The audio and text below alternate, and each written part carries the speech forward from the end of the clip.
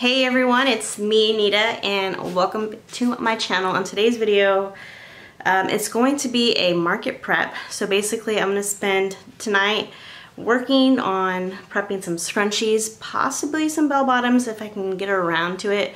Most likely, I won't be able to get around to it.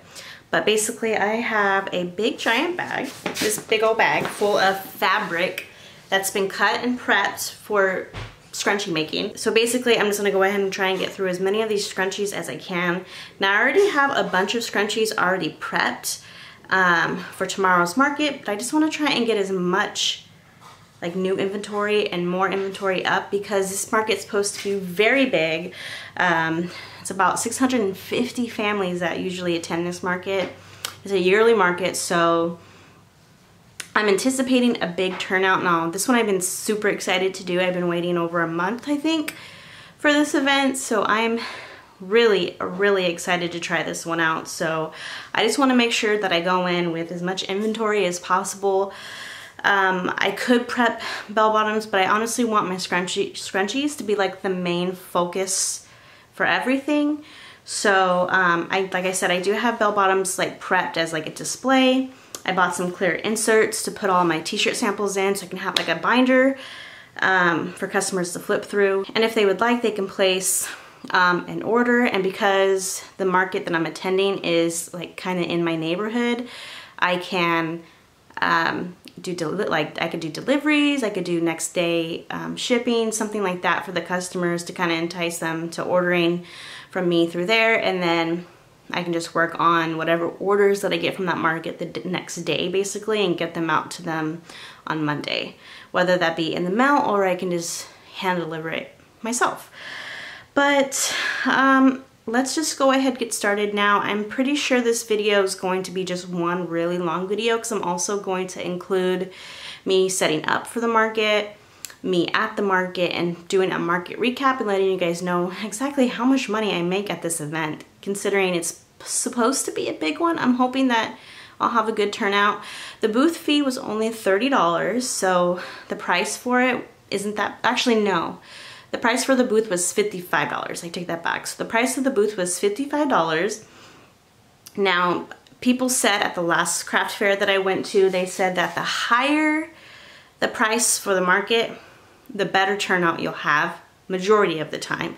So um, this is one of the higher ones that I've paid for. The last one that I went to, I only paid 30. This one's gonna be 55. So hopefully, because I'm paying a little bit more, there'll be a better turnout. Fingers are crossed. I'm hoping, I'm hoping that this event will be a lot better. Um, the last craft fair I went to, I'll make sure to leave that video up here for you guys.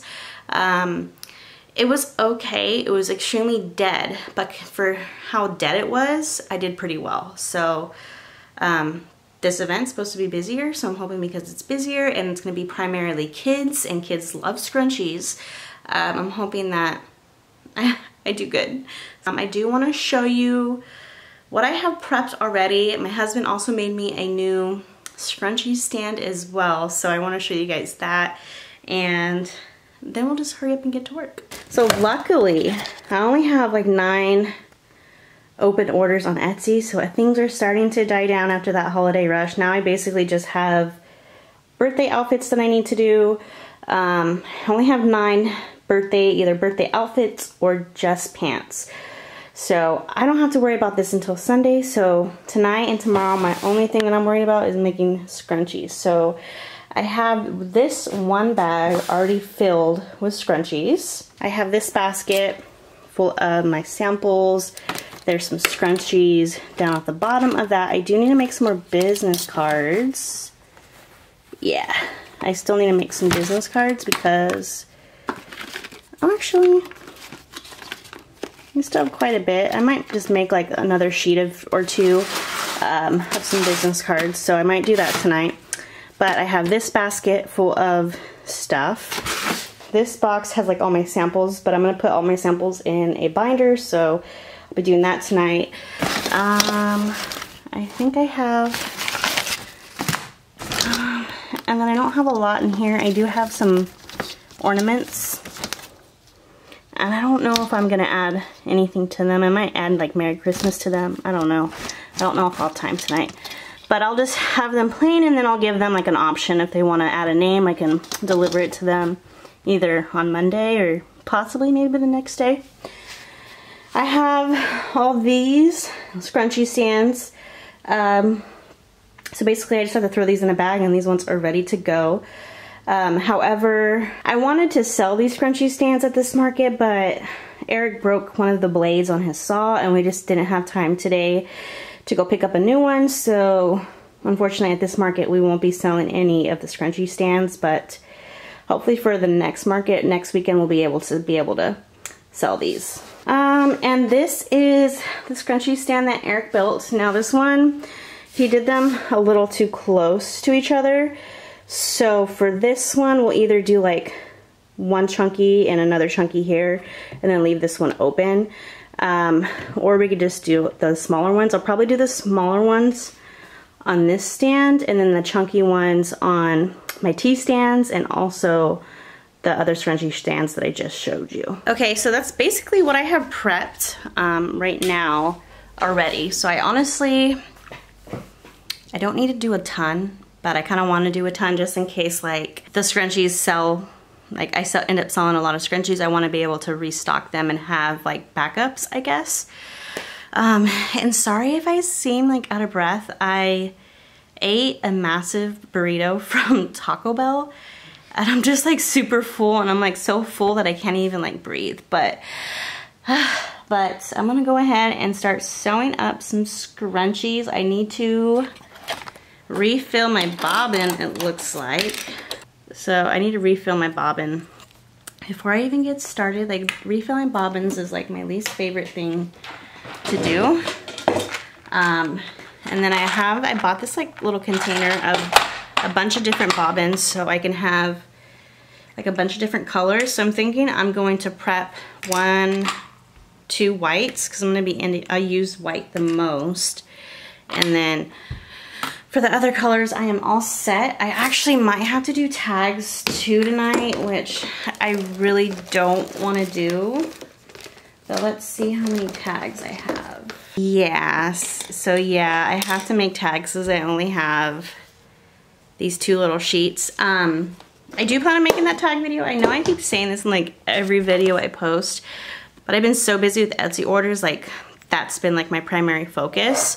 Um, so that I've been filming like work with me videos because that's really all I can film right now or market videos right now because literally Etsy orders and prepping for markets has been like consuming me. So I haven't had time to film any other content, but I'm hoping now that sales are slowing down, especially for the rest of December. I doubt I'm gonna get like a ton of Christmas orders because people are gonna stop ordering right about now because of shipping and whatnot and it probably won't get to them in time for Christmas so I highly doubt people are going to be ordering any Christmas items. Um, if I do get any Etsy orders it's probably just going to be for birthday items um, but I'm actually totally off topic.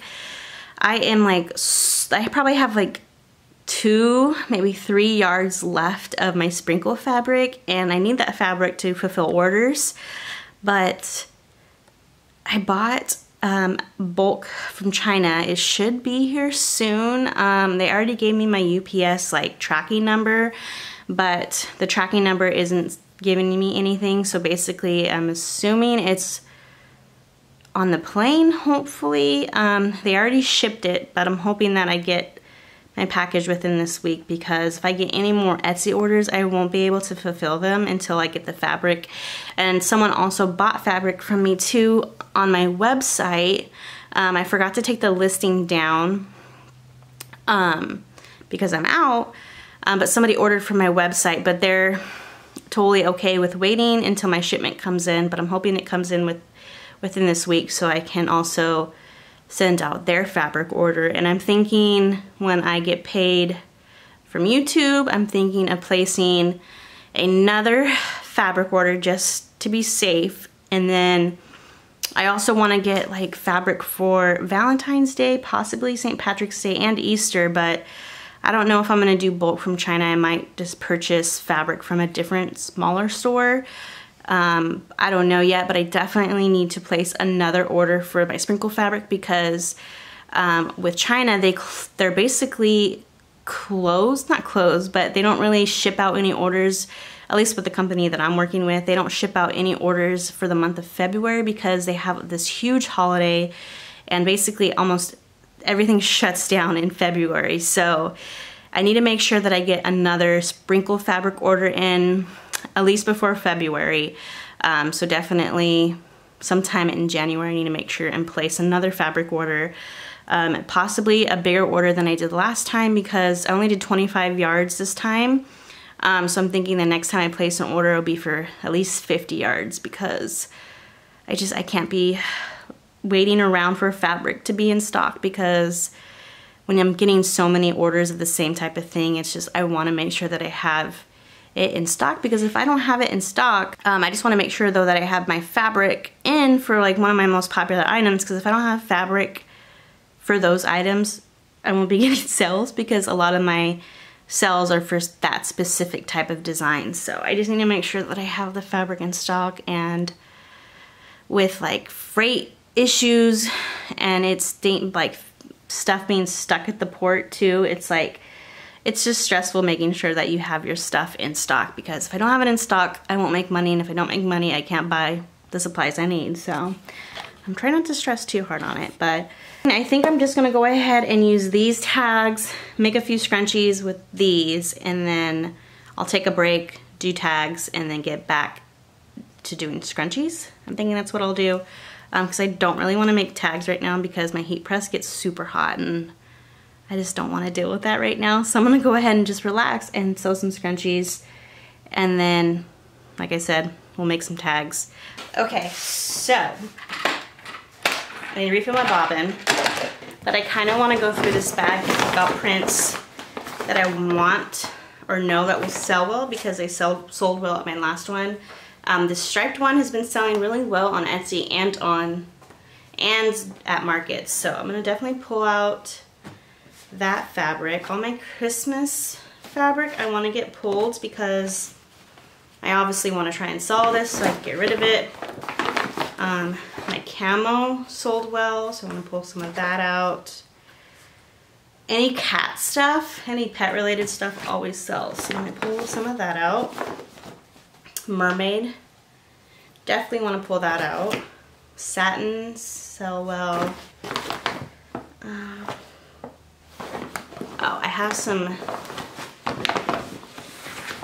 Disney fabric too that I want to try and get rid of because I don't really use Disney fabric. And then I also have some Giants. I already have the tags sewn into these, so I'm like almost done with those. So I'm gonna pull those out.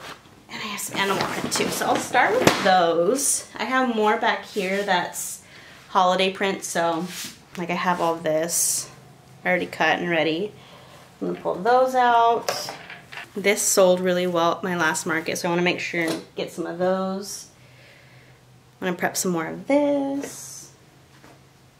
And then I already have these done. I just need to elastic them. So, so I have quite a bit kind of already done basically, so that's kind of nice. Um, so whatever I can get done tonight, I'll be very happy, but um, but if I can get through this stack, I'll be kind of happy um, because there's a lot of good prints in, prints in here, so We'll see how much I can get done.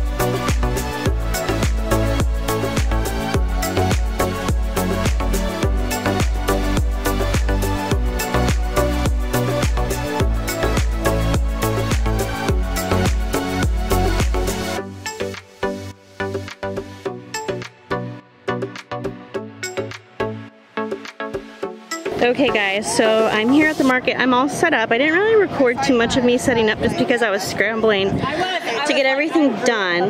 Um, and I don't know how much I'll record just because this is at a school and I want to be respectful to the kids and the parents so I won't be recording too much. But I just wanted to give you guys a little look at our table. We only have one table today, which isn't too bad because we were able to fit everything onto the table. But I really love I how Eric's stand came out. I think it looks perfect. I have a good amount of inventory. I brought a binder so people can kind of see all the shirts that I offer. And then I have all my bell bottoms in the front for customers to see. But I'm loving how everything is looking so far. Hopefully I do well today. I'll definitely keep you guys updated. Okay guys, so I just want to check in with you. So, I have sold five scrunchies. This is the regular scrunchies. I didn't sell any chunky scrunchies, surprisingly. My last market, the chunky ones were the popular ones, but for today's market, just the regular ones sold. Um, it is packed here, it is busy, but nobody's buying anything, at least from my booth, so um, bummer. I really thought this was gonna be like the market to go to because it's an elementary school, there's a ton of kids. The kids were super interested in the scrunchies and like my keychains, but the parents, they just, they're not wanting to purchase. So I don't know what's going on. Um, not sure. We'll see how it goes. I still have like two more hours left, but I will check back in with you guys in a bit. Okay guys, so it's almost a week since uh, that market, almost a week, about five, six days. But I went into that market thinking that I was going to do extremely well. Um, but it's actually a huge disappointment. So I thought I was gonna do well at this market just because I knew there was gonna be a lot of kids, a lot of preteens, um, and just a lot of families there in general. But for whatever reason, um, the families or the parents, they just weren't buying anything, at least from my booth. Um, I noticed that a lot of people around me too weren't getting a lot of buyers at their booths. Um, so I think with that event, parents were there with their kids to do like more of like the Christmas activities. They had like games for the kids to play. They had raffles, things like that. They had food there. Uh, Santa, they had kids playing and performing music. There's cheerleaders. So I think a lot of the parents were there for the entertainment purpose of like the whole event. I don't really think they were there with the intention to buy anything. Um, now I did get some sales, so I'll kind of go over that with you guys. Um, but I thought I was gonna get a lot more sales. Um, but basically, um, the booth costed me $55. Um, so some of the scrunchies that people purchased, they all purchased regular size scrunchies. I, I, did not sell one chunky scrunchie at all, which is super weird because the previous craft fair that I went to, that was the only thing I sold. So super, super weird, but I only sold regular scrunchies and I sold two of my TikTok ones, um, two Christmas ones, actually three Christmas ones, one mermaid and one unicorn. So I also sold a pair of bell bottoms as well. So I still have to make those bell bottoms and have the customer pick them up. Um, so I haven't made those yet. I'm just waiting back to hear from the customer on what size they would like. They did pay already through Venmo, but I'm just waiting on them to confirm the size that they want for the pants so I can get started on making those. So my grand total was $69, which was $1 more than my previous craft fair that I did. My last craft fair I did 68 and this one I did $69. So I did a dollar more, but it was way it was way busier than the last craft fair I went to. The last craft fair, it was like dead. But with this one, we so many people there, but nobody was buying anything. So I did get a few families, um, a few interested families that bought a few scrunchies. Um, but with the booth costing $55 and me only making $69, it just didn't, it wasn't worth it. But I do understand that with doing craft fairs, um, they're hit or miss. Sometimes you're gonna do really well at them, sometimes you're not. So, so far in my craft fair and doing markets experience, My very first one that I did at the flea market, I made over a $100. That one was my best one. Um, and currently my two craft fairs that I went to have been okay. Um, definitely not worth my time. Um, I did network and chat with a bunch of different people, chatted with other small businesses, um, chatted with customers to potentially do um, like custom outfits for uh, pageants. So I did talk with one mom who has her daughter enrolled in pageants and I showed her all my reviews on Etsy. I even showed her some pictures of some kids who wore my bell-bottom outfits for their own pageants. So that's kind of nice because that could be a potential buyer in the future. I did give her my business card. I had her follow me on Instagram and hopefully she'll reach out wanting to purchase an outfit or I can even make something custom for her um, for an upcoming pageant. Um, so that would be really nice. And if she does reach out and she does purchase a pageant outfit for me, I could be someone that she could always go to for any future pageants that she has with her daughter and any of her friends who do pageants too she can also refer me as well so going out to these markets sometimes you know you don't make a ton of money, but you could make a lot of potential money and build a good customer base. So it's a lot of networking, which, you know, you don't get paid initially for your networking, but it could have a lot of benefits in the future. So I'm hoping with all the networking that I did, um, I'm hoping that'll benefit me in the long run. But each craft fair, each market that I do, I am learning a ton, a ton of things. Um, so I'm excited just to keep attempting to do well at these markets. Now, for my next two markets that I have, and they're actually this weekend, um, one is a really, really big market. Um, it's on Saturday. It's in Old Auburn. Um, and this is a yearly event um, and it's a two weekend kind of event. And the previous weekend I didn't go just because I already had a craft fair booked for that specific date. But, but um, they had a really, really, really good turnout at that one. So I'm hoping that on Saturday, we'll get the same type of crowd that shows up and hopefully it'll be a good, hopefully it'll be a really good event for me. Now this event too is also a yearly thing and um, the town is also a kind of small town. So it's kind of just like people who go out there, they know this event, they're usually regulars of this event. So most of these people I'm anticipating they're going out there because of the craft fair. Um, so I'm hoping I do a lot better. I did spend $75 for that booth. So I'm hoping I have a really good turnout because that's a lot of money to try and recoup. So I'm going all out with this market. So I'm totally changing up my whole setup for the craft fair. I am keeping the same stands, but I'm having Eric um, make me a lot more of the stands because I'm gonna have a 10 by 10 space for not only Saturday, but for Sunday too. So I'm double booked this weekend, so I'm super excited. I have one on Saturday and Sunday, but Saturday's supposed to be the really big one, the big event. So I wanna try and just go all out and go as hard as I can for this market, just because it's supposed to be a good one. I paid a ton of money for it, so I need to make sure that I go out there and just give it my all. So my whole booth is gonna be set up differently. I got white tablecloths. Um, I did purchase a banner off Amazon that I'm going to be sublimating, so stay tuned for a tutorial on me sublimating a banner for my business. Um, but I got white tablecloths just because I feel like my table is too busy and I just want it very simple and just very white because I just want my displays and my stands and my scrunchies to really just be the main thing that people notice when they walk by. Um, with my previous booths, they're just, I had a black tablecloth and it was just too busy. And also the picture frames too that I had on my table were way too big. So I purchased some five by seven frames. Um, so I'm gonna be doing smaller signs for pricing. Um, so hopefully that'll also kind of help take away from my table looking too busy. So I'm hoping that my table setup will be a lot better this time and is really a big eye catcher for people who walk by. So I'm trying to go all out for this market and for Sunday's market.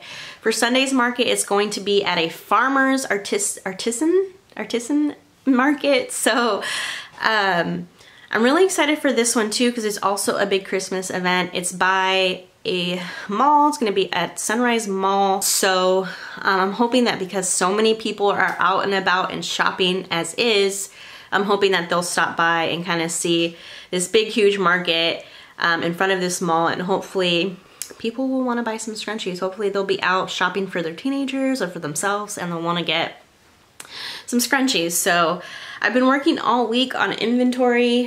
Um, I haven't been filming it just because I'm trying to bust out as much scrunchies as I can.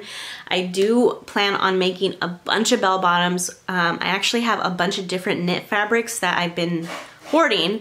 So I'm gonna be making just some bell bottoms, no matching shirts to go with them, but I'll be making some kids bell bottoms to sell at this market and um, eventually I do wanna get like a clothing stand so I can have my bell bottoms and all the different sizes and all the different prints displayed out like better. I'm not gonna have that for these up to coming markets just because I still need to buy lights um, because one of the markets is gonna be at nighttime so I need to make sure that I have adequate lighting. So I'm saving up for some stands, some clothing stands or clothing racks to be able to display my um, bell bottoms, but I'm really trying to like narrow down what I'm selling to at my markets. So I, pr I primarily just wanna focus on scrunchies and kids bell bottoms. So that's my main, main focus and that's what I really wanna focus on too with my branding is just kids bell bottoms, the kids matching outfits, and scrunchies. So I don't think I'm gonna do any burp cloths or baby blankets. I think that stuff I'll just uh, save for my Etsy shop. Um, so I'm not gonna stress about doing that, but I definitely wanna make sure that I have a ton of inventory for scrunchies and a ton of inventory for bell bottoms. So I've spent quite a bit of time this week just sewing up some scrunchies. Um, I have this big bag full of like pre-cut fabric, so I'm just every day trying to pull out some fabric and sew up some scrunchies. I have a big bin that I'm trying to fill up because at these next two markets, I'm gonna have a 10 by 10 space, so I'm gonna have three tables. So I wanna make sure that I have enough inventory to just fill up these tables. So yeah, so I've been working hard. Luckily, Etsy sales have died down too, so I only have like 11 open orders right now, but I've been getting orders out quickly and none of these orders have to go out for another week. So I have some time to just focus on these two markets because these are gonna be the last two markets of the year and I don't know when I'll do another market. I'm not sure if I'm gonna do any in January or any in February. Um, this Sunday market is a weekly market at the same place. So if I do well at this farmer's market, I'm gonna try and see if I can just get signed up for two markets a month, um, maybe one market a weekend, we'll see. Um, if I could just have one spot though that I can go to regularly, it would be nice because I can build up a, a customer base, a fan base to where they'll know that I will be at this spot every week. So they'll know where to find me and if they need scrunchies, they'll know where to find me basically. So that's my goal with these two markets and for the next upcoming year. I'm not sure if I'm gonna wait until like the springtime to start doing markets again because I know the cold weather kind of prevents people from going out and shopping because if it's too cold or if it's too wet and rainy, people aren't gonna be out and about. So um, I don't know if I'm just gonna wait till the springtime once it starts to warm up, the weather gets better. I don't know, we'll just have to wait and see on how these two markets go. I am gonna film both those markets. It's gonna be in one video, so Stay tuned for that too. So if you haven't already, make sure to subscribe because I have tutorials on me prepping things for my craft fairs and uh, markets that I'm doing. And I also do recaps and kind of give you just like tips and tricks and things that worked and things that didn't work. So if you want to do craft fairs, you know, you can kind of see what is working for me or what's not working for me. Um, or if you just need some motivation, definitely just make sure to subscribe. Um, I do work with me's as well for my small business slash Etsy shop. So if you just need some work motivation or some ideas on things that you could sell, definitely hit that subscribe button, hit that notification bell too. So anytime I post, you know exactly when I post. And also, we go live, um, or I go live, um, usually at whatever craft fair or whatever event I'm at. But I don't go live on my channel just because I have to use my phone for my Square reader, just in case a customer needs to pay with their credit card or debit card. But we go live on my husband's channel, so definitely go subscribe to his channel as well so you don't miss any of the lives that we do at our markets. So I have his channel linked down below, so definitely go subscribe to him, hit that notification, also hit his notification bell so when we go live, you guys will be notified. So um, I think that's it for this video. I hope you guys enjoyed it. Um, I'm hoping that you guys are enjoying these market vlogs. Um, I'm having fun with these markets. I'm learning a ton. Um, I get bummed out sometimes because I don't do as well. And then I, I see all these people on Instagram who say like they sold out on things at their markets or it was the best market that they had and I'm not doing so well at these markets, but I am determined to figure it out and crack the code on how to be successful at craft fairs and selling at markets. So it's a long learning process, but I'm determined to figure it out. But anyways, I'm gonna go ahead and end this video and I will see you guys in the next one. Bye!